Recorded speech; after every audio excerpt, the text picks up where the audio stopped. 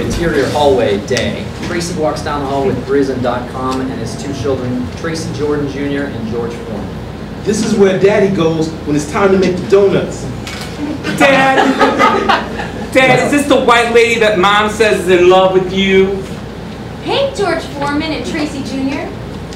Tracy, what are your kids doing? Oh, we don't have nobody to watch the boys because my wife fired our babysitter. She said that I was filling her up, but I was just checking up for ticks. So hire another babysitter. It's not like you can't afford it. You were the only person in America who made money last year. Do you think that it's that easy to find illegal immigrants in New York City?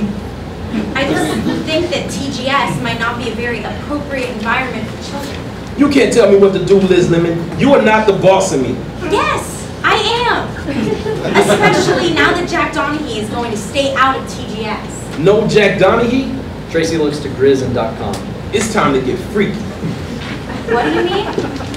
When the cat's away, the rats will play. Don't you mean mice? Liz Lemon, where I come from, it was rats. And if you knew what was good for you, you left those rats the hell alone. There's still a cat. I'm the cat. Tracy is not listening and starts walking away. Dot com. Call up those girls from the Tracy Jordan calendar and tell them that we just discovered the 13th month. Cut to interior writer's room moments later. Toofer, Seri, Frank, Peets, and Lutz uh, and the writers stand around the table as Liz addresses them. I have an announcement. Jack Donaghy is no longer going to be involved with TGS. So we can finally watch that amputee porno? Never. Everything is exactly the same except without Jack. Make this the best TGS ever? All right, what if we had Santa Claus selling off his elves to Carrot Top to go work in his prop factory? I told you guys, no more carrot top ideas. What's the big thing everybody's talking about right now? I overheard some chicks talking about that lame show Sorcerer Society in the bathroom. You listen to.